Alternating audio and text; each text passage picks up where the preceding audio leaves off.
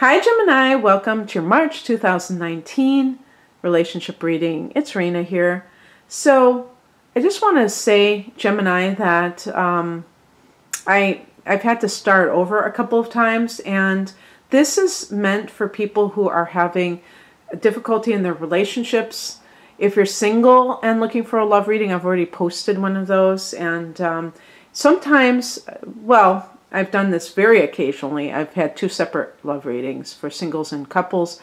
And uh, this is also for couples if you've broken up with somebody, but you were thinking of getting back together with them.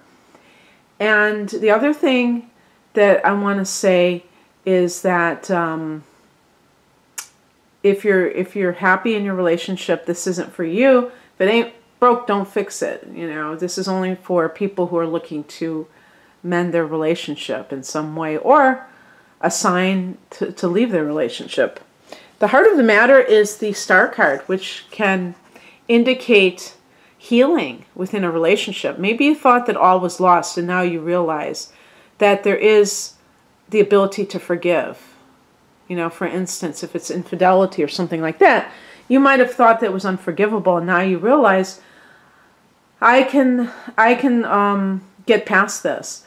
And um, the other thing about this is if it, this could also be if you have separated over an infidelity and you thought that you were going to get divorced. So we have here in the past past position the Hierophant, which is connected to marriage.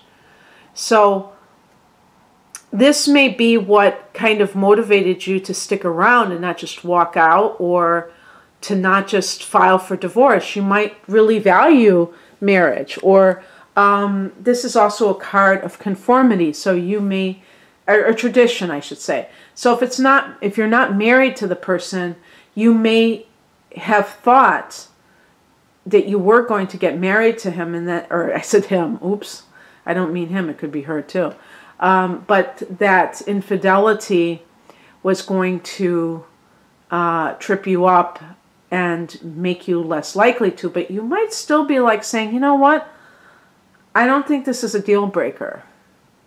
And if that's the case, um, hopefully there are signs other than empty promises to back up this person's claim because uh, you don't want to you don't want to like totally uh, look past what somebody has done right? Just because you want to maintain the relationship. So I have to believe that something has occurred that has made you regain your trust and heal and start at least starting the healing process. And because you have Jupiter in the seventh house of committed partnership, this could be really helping this matter where it's infusing positive energy into it, and maybe that's part of the healing as well. We have here, as the spiritual message, the Six of Pentacles, which, if you see the scales, is all about give and take. So let's use the scenario of somebody who um, cheated on their partner. I know this is going to sound controversial, but please hear me out. I do believe that it is possible for a person to cheat because the other party is not giving them enough attention. And I don't mean because they're narcissists and they crave endless attention. I'm talking about just an average person. So let's say the partner's a workaholic. That could lead to uh, the other part, person feeling neglected in the relationship, and then they get lonely, and then they stray because they're looking for that human companionship, okay? And so my point is not to justify infidelity, but to show how certain actions on even the other person's part can lead to uh, these things happening. And of course, everyone has to take responsibility of how they handle it. They can always say to their partner, um, I feel neglected because you work long hours. You don't have to do something behind a person's back in order to get your needs met, right? So please, I totally get that. But some people, they're like passive aggressive. They are, you know, there's all kinds of reasons they're afraid to, to say to their partner the truth. And so they would rather uh, go outside of the marriage to get their needs met. So um, the point being that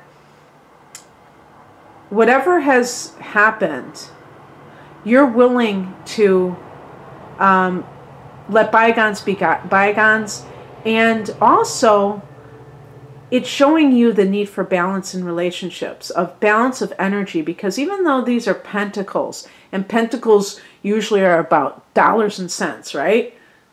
This is a love reading, so we have to translate that into how it how it pertains to relationships, and it's about um, both people putting into the relationship. And if you don't feel like you have that, then that is the sign that you need to find that and that other people do have that in relationships where both parties are eager to be in that relationship. Don't think that because you have a certain pattern, Gemini, that that's just how it has to be. It doesn't. And by the way, um, this this can be if we look at it from that standpoint of if you really feel like you don't have balance in your relationship, um, the star card could be you healing from the need to be married. you know, maybe you were raised in a very um, traditional type of environment where it was just like beyond the pale to get divorced, and now you realize no, um, this is not this is my life and I have the right to be happy. And if I'm not happy with this person, if they're not putting into the marriage what I'm putting into, then we don't need to be married. I mean, it could be as simple as that. Um, what crosses you is represented by the Queen of Pentacles. Now, this is very interesting because the Queen of Pentacles is a double feminine energy. Gemini is a masculine energy. And um, I'm wondering if there is, with that Six of Pentacles, if there is a dynamic of uh, some, I'm going to make this a gender thing, but I want men to know that I totally have your back. I am not one of those women that bashes men, not by a long shot. I defend men. But I'm wondering if this might be just the the just for a select few Gemini women if you are staying at home with the children and you're with a partner who is using your financial um, dependency as a weapon. Okay, because I, I was going to bring that up, but now that I see the Queen of Pentacles in the challenge position, I can I can um, see this um, scenario playing out. Or I will make it um, gender friendly.